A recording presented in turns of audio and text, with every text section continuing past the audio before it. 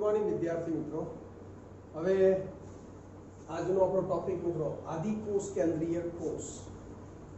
Prokaryotic cell બરાબર? હવે last લેક્ચરની અંદર આપણે જે ચર્ચા કરી કે ભાઈ, કોષની જે રચનાની આપણે વાત કરી કે તમે જુઓ, કોષવાદ લાસ્ટ આપણે એક ટોપિક ભણી ગયા. બરાબર? પછી આપણે એના પછીના આગળના ગઈકાલના લેક્ચરની અંદર મિત્રો, કોષનું વિહંગ અવલોકનનો આપણે અભ્યાસ કર્યો. બરાબર? હવે આજે આપણે ત્યાં ચર્ચા કરેલી કે ભાઈ કોષ બે ભાગોમાં વહેંચાય છે. આદિકોષ કેન્દ્રીય કોષ અને બીજા કયા છે? સુકોષ કેન્દ્રીય કોષ. બરાબર? પ્રોકેરિયોટિક સેલ અને યુકેરિયોટિક સેલ. બરાબર? તો આજનો આપણો ટોપિક છે મિત્રો પ્રોકેરિયોટિક સેલ, મતલબ કે આદિકોષ કેન્દ્રીય કોષ.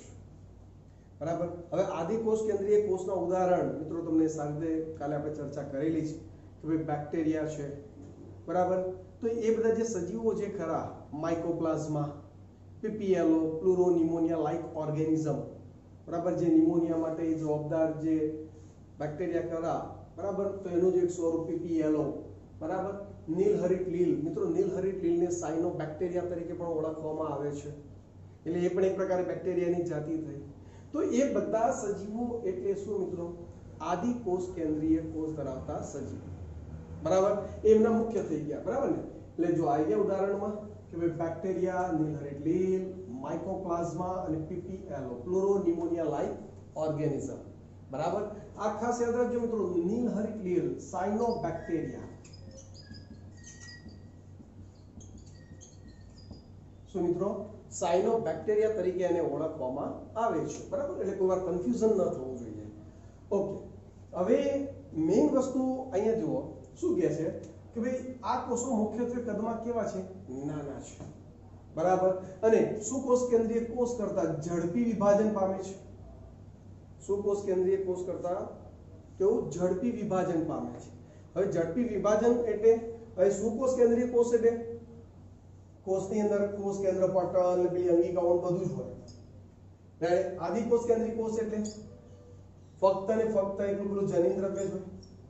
બરાબર ક્યાંક પેલી રિબોઝોમ્સ જેવી અંગિકા હોય. એટલે આને વહેંચણી કરવામાં કંઈ ફરક બહુ વધારે હોતું નથી. સરળતાથી એકમાંથી બે બાળકોષ બની જાય. જ્યારે આને તો બધી અંગિકાઓની વહેંચણી, જનીન દ્રવ્યની વહેંચણી, થોડું લાંબી પ્રોસેસ લાગે. ખ્યાલ આવે? પાછા કદમાં નાના પણ છે. જ્યારે આ કદમાં કેવા છે? મોટા છે. રેડી એટલે સુકોષ કેન્દ્રિક કોષ કરતા? આદિકોષ કેન્દ્રિક કોષ ધરાવતા જે સજીવો જે ખરા, એમનું કોષ વિભાજન કેવું હોય છે? ઝડપી હોય છે. બરાબર? હવે મિત્રો સરળ એક ઉદાહરણ આપું. ધારો કે મુકેશ અંબાણી અનિલ અંબાણી. ધીરુભાઈ અંબાણીના બે સન. બરાબર? તો એમને મિલકતની વહેંચણી કરવી તો કેટલો મોટો પ્રશ્ન ઉત્પન્ન થાય? બરાબર? કેટલી બધી આપણે ફેક્ટરીઝ હોય કે જમીનો હોય કે બધી તો વહેંચણીમાં ઝઘડા થાય. આપણે સાંભળેલા. પણ ધારો કે મિડલ વર્ગ અથવા તો આપણે એમ કહી શકીએ ગરીબ પરિસ્થિતિ વાળા હોઈએ ત્યારે આપણી આપણી અંદર વહેંચણી કરવી તો? ઓકે ભાઈ, આ એક એક ઘર છે તો ઠીક છે, નહીં તો બે ઘર હોય તો બે ઘર અલગ અલગ ઘર વહેંચાઈ કે ફટાફટ ઝડપથી વહેંચણી થઈ જાય. મતલબ જેટલી મિલકત ઓછી વહેંચણી એટલી ફાસ્ટ મિલકત જેટલી વધુ, એટલી વહેંચણીમાં સમય લાગે. બરાબર કે નહીં? તો એવો જ રૂલ્સ અહીંયા પણ લાગુ પડતો જોવા મળે છે. કે ભાઈ જે આદિકોષ કેન્દ્રીય કોષ ધરાવતા જે સજીવો ખરા, એમનું કોષ વિભાજન કેવું છે? ઝડપી છે. કોના કરતા સુકોષ કેન્દ્રીય કોષ કરતા? ચલો ક્લિયર ઓકે આગળ શું કહે છે? કે ભાઈ કદ અને આકારમાં ઘણી બધી એમાં શું જોવા મળે? વિભિન્નતાઓ રહેલી જોવા મળે છે. બરાબર? હવે એમાંના એક સજીવ, એટલે કે જે બેક્ટેરિયા જે ખરો, એના આપણને અહીંયા આકારનો ઉલ્લેખ કર્યો છે. કે એ બેક્ટેરિયાના આકારમાં આપણને ઘણી બધી વિવિધતા જોવા મળે છે. હવે વિવિધતા, તો કે જુઓ મિત્રો બેસિલસ બેસિલસ દંડાળો એટલે કે આ ટાઈપનો આકાર. દંડ જેવો આકાર તમને બેસિલસ કહેવાય. કોક્સ મતલબ ગોલાળું તો બેક્ટેરિયા કહેવાય છે મિત્રો આર્થિક ગોળાકાર છે. બરાબર? ઓકે વિબ્રિયો કોમા આકાર મિત્રો, તમે ગુજરાતી જ્યારે લખો છો ત્યારે અલ્પ વિરામ મૂકતા હો છો. તો એ કોમા આકાર થઈ ગયું. સ્પાઇરેલિયમ, સર્પાકાર. તો આ રીતે સર્પાકારની રચના થતી જોવા મળે. બરાબર? હવે, આ તો હજુ એક્સ્ટ્રા આપણે જો જાણવું હોય મિત્રો, તો બેસિલસ અને કોક્સ ઘણીવાર વસાહતી સ્વરૂપે જોવા મળે. કેવા સ્વરૂપે? વસાહતી સ્વરૂપે ચર્ચા કરો. પણ આ લોકો તો સિંગલ જ મુક્ત જ જીવન જીવતા હોય છે. મતલબ કે આ લોકો એકલા જ હોય, એકલા જ પાણીની અંદર મુક્ત સોપાટીમાં ફરતા હોય છે. પણ આ લોકો ઘણીવાર વસાહતી સ્વરૂપ વસાહતી સ્વરૂપ એટલે શું? જેમ કે આ ગોલાણું છે, કોક્સ. તો એકબીજા સાથે અવશ્લેષમાં હોય ફરતે. એના કારણે ચોંટી ગયા હોય એકબીજા સાથે. તો આને ગુચ્છ ગોલાણું કહેવાય. તો વસાહતી સ્વરૂપ થયું એટલે તમે દેખો તો એને લાગે કે કોશિશ સજીવ છે. પણ એકચ્યુઅલી આ એક કોષી સજીવો છે. આ બધા એક એક કોષના અલગ અલગ સ્વતંત્ર જીવે છે. પણ સાથે ભેગા ચોંટેલા છે એકબીજા સાથે. ફરક આટલો જ છે. બરાબર? પછી પેલા દંડાણુ એમાં પણ આવી રીતે હોય છે મિત્રો. માળા દંડાણુ અથવા તો એનો પણ સમૂહમાં ગોઠવાયેલા હોય. ખ્યાલ આવી ગયો? તો એ બંને વસાહતી સ્વરૂપે જોવા મળે. બેસિલસ અને કોક્સ દંડાણુ અને ગોલાણુ. પરંતુ વિબ્રિયો અને સ્પિરિલિયમ, એટલે કે કોમાકાર અને સર્પાકાર. એ ફક્ત ને ફક્ત સિંગલ એકાકી જીવન ચક્ર પૂર્ણ કરતા જોવા મળે છે. બરાબર? એટલું કોઈ આમ તો જરૂરી નથી મિત્રો. પરંતુ એક ચર્ચા કરી કે જેથી કોઈ વાર ક્યાંક કોઈ શબ્દ આવે તો તમને તકલીફ પડે નહીં. ચલો ક્લિયર છે? ખ્યાલ આવી ગયો અહીંયા સુધી? ઓકે. હવે આગળ ચર્ચા કરીએ મિત્રો. હવે ખાસ જો શું કહે છે, આદિકોષ કેન્દ્રીય કોષનું મૂળભૂત સંગઠન તેઓના કાર્ય અને આકાર ભિન્ન કે વિભિન્ન હોવા છતાં એક સમાન જ હોય છે. બરાબર? ભલે આકારમાં કોઈ ગોળાકાર છે, કોઈ દંડાકાર છે, કોઈ કોમાકાર છે કે કોઈ સર્પાકાર છે. બરાબર? પણ લગભગ લગભગ બધા આકાર કે બધામાં ભલે ભિન્નતા ધરાવતા હોય, બરાબર, પરંતુ આપણે બધાને શું કહીશું? એક સમાન જ કહી શકીએ છીએ. ચલો, ક્લિયર છે? ખ્યાલ આવી ગયો? ઓકે. બધા જ આદિકોષ કેન્દ્રીય કોષમાં કોષ રસ પટલની ફરતે શું? કોષ દિવાલ આવેલી જોવા મળે છે. બરાબર? એટલે આદિકોષ કેન્દ્રીય કોષનું પણ લક્ષણ થયું કોષ દિવાલ. બરાબર? ઓકે? કાલે આપણે કોષ વિહંગાવલોકનની અંદર ચર્ચા કરેલી મિત્રો તો એની અંદર આપણે શું જોયેલું? કે ભાઈ વનસ્પતિ કોષ છે, તો એમાં કોષ રસપટલની ફરતે પણ એક ઓર લેયર છે, જેને આપણે કોષ દિવાલ કીધેલી. જ્યારે પ્રાણી કોષમાં કોષ દિવાલનો શું છે? અભાવ છે. બરાબર? પરંતુ અહીંયા આપણે કહી શકીએ છીએ. અહીંયા આપણે કહી શકીએ છીએ કે ભાઈ આદિકોષ કેન્દ્રિત કોષ ધરાવતા જે સજીવો છે ખરા, કે ભાઈ એમાં કોષ રસ પટલ તો છે જ. બરાબર? પરંતુ એ કોષ રસ પટલને ફરતે શું આવેલું છે મિત્રો? કોષ દિવાલ પણ આવેલી છે. આ એની એક વ્યવસ્થા છે. હજુ આગળ પણ મિત્રો આદિકોષ કેન્દ્રિત કોષની ચર્ચા કરવાની છે, આના પછીના લેક્ચરમાં પણ. બરાબર? તો ત્યાં તમને જોવા મળશે કે એની ફરતે પણ પાછું એક લેયર જોવા મળશે. પણ એની ચર્ચા અહીંયા નથી. એટલે હાલ હું વધારે વધારે ડીપમાં નહીં જાઉં. કારણ કે ઓલરેડી નેક્સ્ટ લેક્ચરમાં આપણે ચર્ચા કરવાના છીએ. બરાબર? ગ્લાયકોકેલિક્સ શબ્દ વાપરીશું. ગ્લાયકોકેલિક્સનું એક મજબૂત લેયર બરાબર? કેપ્સિડ તરીકે જોવા મળે. એની ચર્ચા આપણે નેક્સ્ટ લેક્ચરમાં કરવાના જ છીએ. એટલે એવું નથી કે એકલું કોષ દિવાલ. એની ફરતે પણ પાછું એક આવરણ છે. પણ આજના અત્યારના ટોપિકની અંદર તમને એવું કીધું છે કે ભાઈ આદિકોષ કેન્દ્રીય કોષ ધરાવતા જે સજીવો છે, એના કોષ રસપટલની ફરતે શું આવેલું છે? તો કે કોષ દિવાલ આવેલી જોવા મળે છે. બરાબર? એટલે આપણે યાદ રાખવાનું કે વનસ્પતિ કોષ નહીં આદિકોષ કેન્દ્રીય કોષ પણ કોષ દિવાલ ધરાવે છે. ચલો ક્લિયર છે દરેકને? ખ્યાલ આવી ગયો? ઓકે. પછી કોષમાં રહે આધારક દ્રવ્ય એ કોષ રસ છે અને તેમાં સ્પષ્ટ કોષ કેન્દ્રનો શું છે? અભાવ છે. કેમ સ્પષ્ટ કોષ કેન્દ્રનો અભાવ? સ્પષ્ટ કોષ કેન્દ્ર તમે કેમ નથી કહી શકતા? કારણ કે તમે કાલે આપણે વાત કરી કે ન્યુક્લિયોઇડ તો છે અને જનીન દ્રવ્ય તો છે. પણ એની ફરતે શું નથી મિત્રો? કોષ કેન્દ્ર પટલ નથી. હવે ફરતે જો કોષ કેન્દ્ર પટલ ન હોય, તો કેવી રીતે કહી શકાય કે આ એનું કોષ કેન્દ્ર છે? બરાબર કે નહીં? એટલે કહેવામાં આવે છે કે સ્પષ્ટ કોષ કેન્દ્રનો શું છે મિત્રો? અભાવ છે. ચલો ક્લિયર છે? ખ્યાલ આવી ગયો પરંતુ યસ આનુવંશિક દ્રવ્ય મિત્રો આનુવંશિક દ્રવ્ય કાલે પણ મેં તમને કીધેલું પેઢી દર પેઢી લક્ષણો સંતતિમાં શું થાય ઉતરી આવવાની ક્રિયા મેં તમને કાલે કીધેલું કે ચકલીના ઈંડામાંથી ચકલીનું બચ્ચું બહાર આવે છે પોપટ કે મરઘીનું બહાર આવતું નથી તો એ આનુવંશિકતા કહેવાય બરાબર તો આનુવંશિક દ્રવ્યની મિત્રો ખાસ શબ્દ જોજો દ્રવ્ય મુખ્યત્વે અનાવૃત અન એટલે કે અનાવૃત શબ્દ વાપરે છે પણ એને હું છૂટું પાડું તો શું લખાય? અનઆવૃત આવૃત મતલબ શું? કોઈ વસ્તુને ઢાંકેલું. તો એને આવૃત કહીશું. અહીંયા શબ્દ શું છે? અનાવૃત. અનાવૃત મતલબ ફરતે કોષ કેન્દ્ર પટલ છે જ નહીં. બરાબર? એટલે કે કોષ કેન્દ્ર પટલથી આવૃત હોતું નથી. એને શું કહેવાય? અનાવૃત.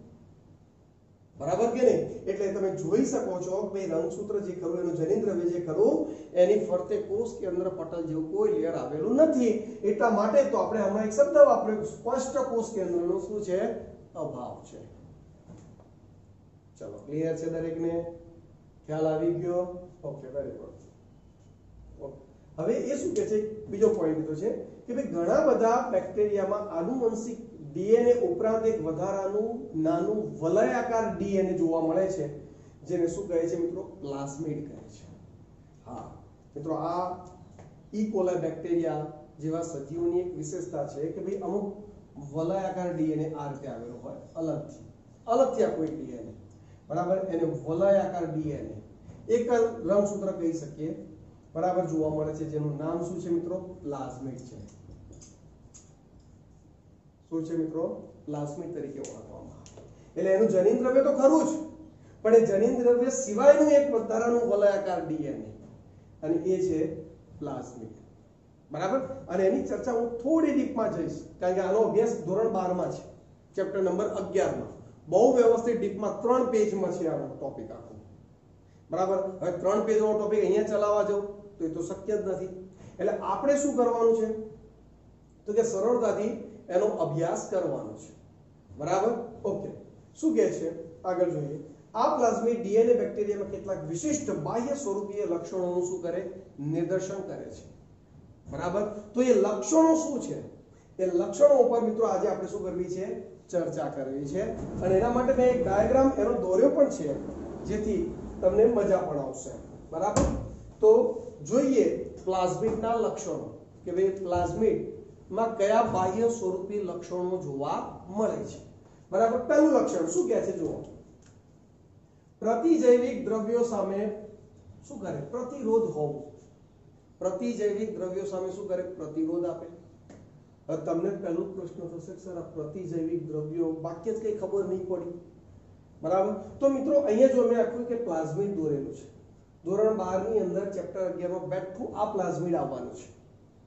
બરાબર? એટલે ટેન્શન નહીં લેતા. હું તમને અત્યારે ધોરણ બાર નથી ભણાવવાનો. હું ફક્ત તમને સમજાવવાનો છું. બરાબર? તમને યાદ હશે મિત્રો, આપણે ડાયાબિટીસ તો એમાં ઇન્સ્યુલિન આપવામાં આવે છે. કેમ? કારણ કે એ વ્યક્તિમાં ઇન્સ્યુલિનનું પ્રમાણ શું થાય? ઘટી જાય છે. એટલે ડૉક્ટર એને ઇન્સ્યુલિનના ઇન્જેક્શન અથવા તો ઇન્સ્યુલિનની ટેબ્લેટ આપે છે કે જેથી એના શરીરમાં ગ્લુકોઝનું પ્રમાણ શું રહે? જળવાઈ રહે. ગ્લુકોઝ વધી ના જવો જોઈએ. ખ્યાલ આવે છે કે નહીં? તો એ સ્થિતિને કંટ્રોલ કરવા માટે આપણે ઇન્સ્યુલિન આપીએ છીએ. બરાબર? તો અહીંયા સમજો, એ બાયોટેકનોલોજી પદ્ધતિ છે. કઈ પદ્ધતિ છે મિત્રો? બાયોટેકનોલોજી બરાબર? હવે શું કહે છે? કે આ ધારો કે સમજી લો ઈ કોલાઈ બેક્ટેરિયા છે. અને એની અંદર આ પ્લાઝમિડ છે. અને એનું પેલા પેલું જનેન્દ્ર કે છે, એનું પોતાનું. બરાબર? હવે આ પ્લાઝમિડ શું કરીએ? આ પ્લાઝમિડ સાથે આપણો ઇન્સ્યુલિન બનાવતા જનીનને શું કરી દીધો? જોડી દઈએ. બરાબર? આમ જોડી દીધો. અને એને આપણે આની અંદર દાખલ કરીએ આદિકોષ કેન્દ્રિક કોષની અંદર. એટલે આપણા ઇન્સ્યુલિન બનાવતા જનીની ઘણી બધી કોપીઓ તૈયાર થઈ જાય. એની પણ હું ચર્ચા કરીશ. હવે આનાથી ફાયદો શું? આ બેક્ટેરિયા એવો છે ઇકોલા બેક્ટેરિયા. બરાબર? આમ તો નોર્મલી જો પ્લાઝમિડ ના હોતું તો એ મરી જતો.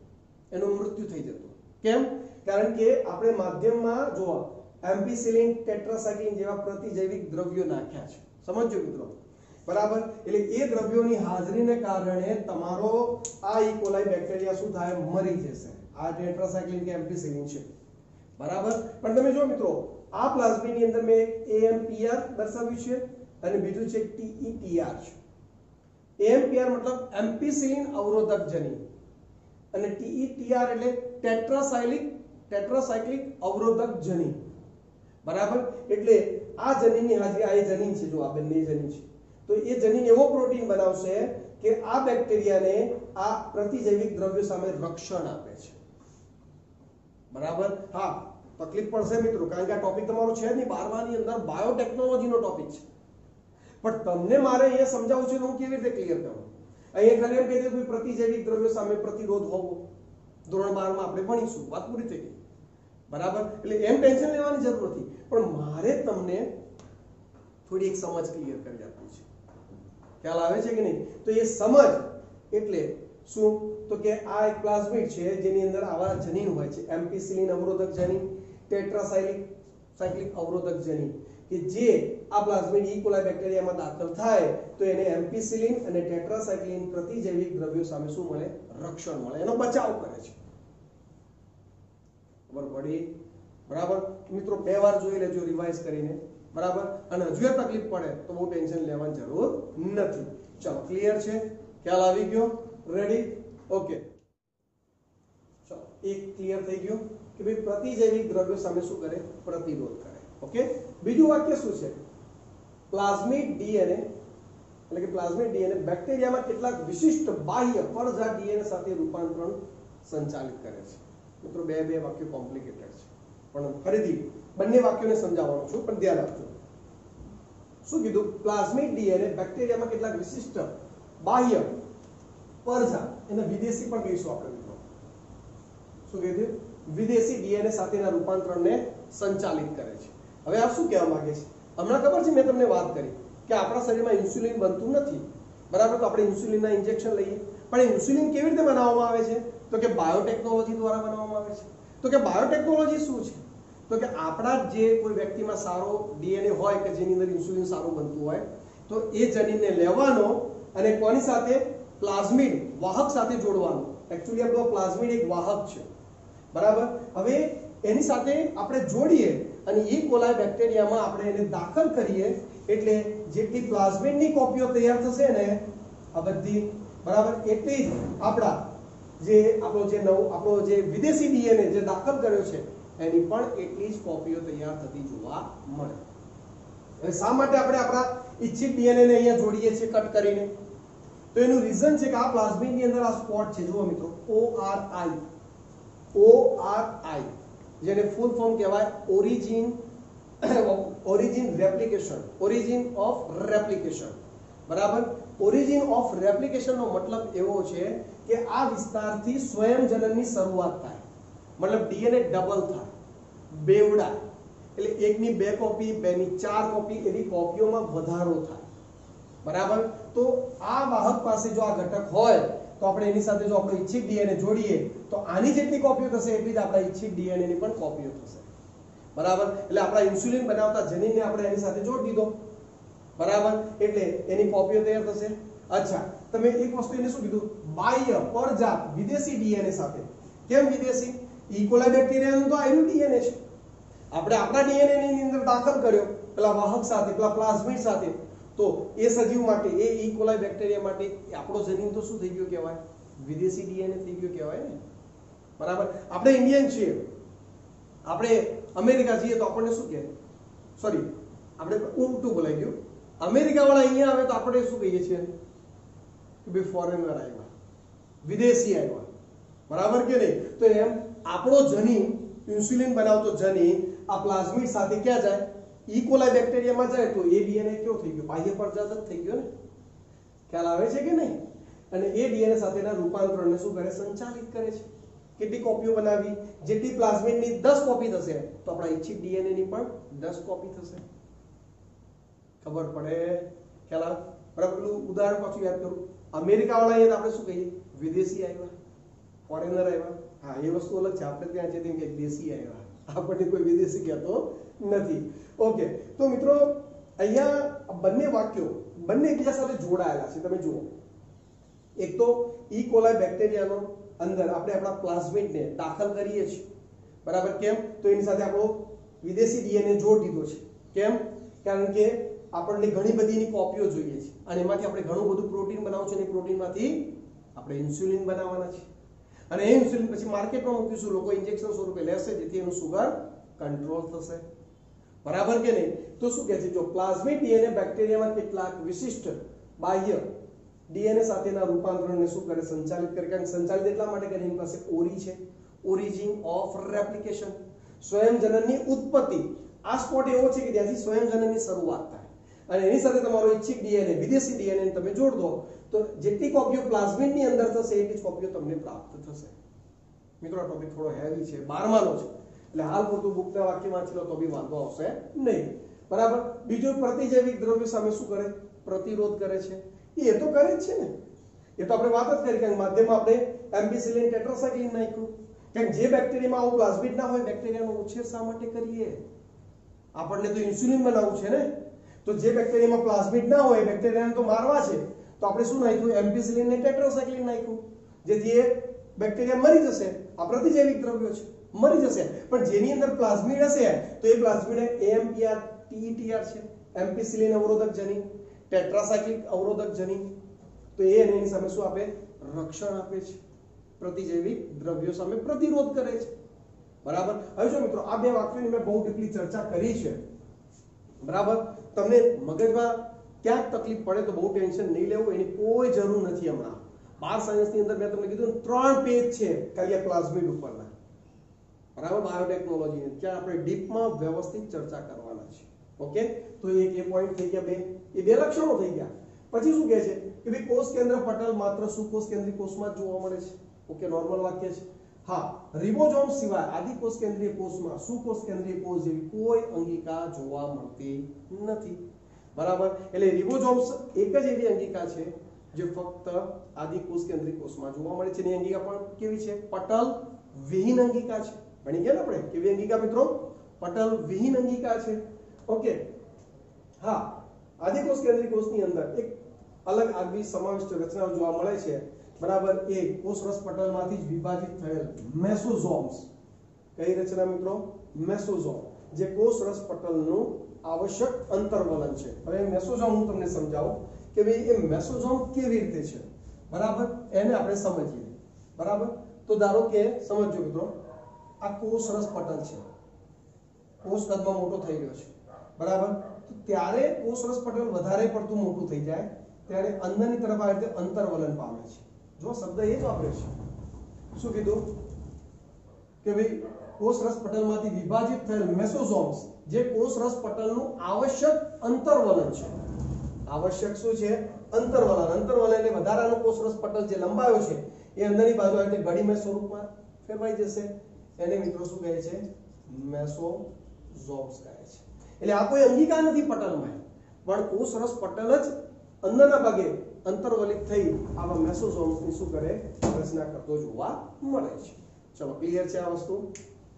આગળ લાસ્ટ તમે બુકની અંદર જ તમે આપણી પાસે થોડા કદનો ઉલ્લેખ કર્યો છે કે ભાઈ સુકોષ કેન્દ્રીય કોષ, એનું કદ એવરેજ કેટલું હોય? દસથી વીસ માઇક્રોમીટર હોય છે. બરાબર? પણ તમે આદિકોષ કેન્દ્રીય કોષ જુઓ, જેમ કે અહીંયા આપણને બેક્ટેરિયા આપ્યા છે. તો કે એનું કદ કેટલું છે? તો કે 1 થી 2 માઇક્રોમીટર છે. બરાબર? પછી અહીંયા આપણે PPLO pleuro pneumonia like organism હમણાં જોઈ ગયા ઉદાહરણ? એનું કદ લગભગ 0.1 માઇક્રોમીટર છે. રેડી અને લાસ્ટમાં વાયરસ જે આપણે જોઈ નથી શકતા નરી આંખે નહીં તો આપણે કોરોના વાયરસને સરળતાથી જોઈ બે હાથ ઉપર બેઠો સાફ કરી નાખીએ. બરાબર? તો એકદમ સૂક્ષ્મ કદ એનું કદ મિત્રો જો 0.02 થી માંડીને 0.2 માઇક્રોમીટર જેટલું કદ રહેતું જોવા મળે છે. ખ્યાલ આવે છે કે નહીં? મિત્રો, આ બધા જ એમસીક્યુ નીટમાં પૂછાઈ શકે છે. હાલ તો તમારી નોર્મલ પરીક્ષામાં પૂછાય, તમે એકાદ માર્ક્સ કાઢતા કોઈ ફરક નહીં પડે. પણ નીટ માટે આ બધા જ એક્ઝામ્પલ ખૂબ જ અગત્યના છે, કદ સાથેના બરાબર? તો એ તમારે સો ટકા ક્લિયર કરવા પડે છે. જો એમાં તમે કચાસ રાખશો મિત્રો તમને એમસીક્યુ પૂછાઈ ગયો તો ચારથી પાંચ માર્ક્સનો તમને લોસ થઈ શકે છે. એટેન્ડ નહીં કરો તો ચાર માર્ક્સ અને એટેન્ડ કરીને ખોટો પડે તો પાંચ માર્ક્સ બરાબર? એટલે પ્લીઝ એને પ્રોપર તૈયાર કરવું જરૂરી છે. રેડી ઓકે તો આજે આપણો ટોપિક મિત્રો, શું? આદિ કોષ કેન્દ્રીય કોષ. બરાબર? એમાં જોવા મળતી રચનાઓ અને એના બંધારણ વિશે આપણે ચર્ચા કરી. તમને જ્યાં પણ આખા ટોપિકની અંદર ક્યાંય તકલીફ પડશે, તો ફક્ત ને ફક્ત બે લક્ષણો ઉપર પડવાની છે. અને હું જાણું છું. બરાબર? પણ એ વસ્તુ હું બાર સાયન્સમાં તમને ડીપલી વધારે ક્લિયર કરી આપીશ. ઓકે? અત્યારે યાદ રાખી દેવાનું કે પ્રતિજૈવિક દ્રવ્યો સામે પ્રતિરોધ એટલે રક્ષણ આપે. બરાબર? અને પ્લાઝમિક ડીએનએ બેક્ટેરિયામાં કેટલાક વિશિષ્ટ બાહ્ય પરજાત ડીએનએ, આપણો ઇન્સ્યુલિન માટેનું યાદ રાખવાનું. આપણે ડીએનએ ની સાથે જોડી એના સાથેના રૂપાંતરણને શું કરે? સંચાલિત કરે છે. એની ઘણી બધી કોપીઓ તૈયાર કરવામાં મદદ કરે છે. બરાબર છે? તો આ રીતે આપણો આજનો ટોપિક આદિકોષ કેન્દ્રીય કોષ. તમારો ક્લિયર થઈ ગયો.